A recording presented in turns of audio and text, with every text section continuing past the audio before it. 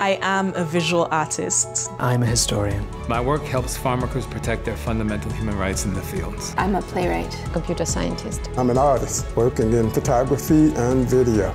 I'm a mathematician. I study undocumented migration from a variety of perspectives. I'm a musician, songwriter. I am a journalist. I'm a social justice organizer. Theater artist. I bring communities together to be a source for health, wellness, and healing in the inner city. Fiction writer and cultural critic. A landscape architect.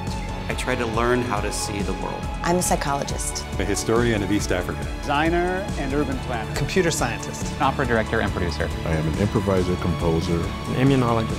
I am a writer.